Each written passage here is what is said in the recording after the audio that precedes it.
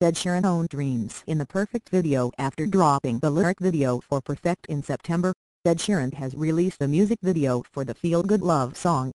According to an official press release, the singer shot the video in Hintertux, Austria last month. The Grammy-winning artist was pretty hands-on with the project. Not only did he star in the music video, but he also wrote the accompanying video script along with his director Jason Koenig, who also collaborated with Sheeran on Shape of You.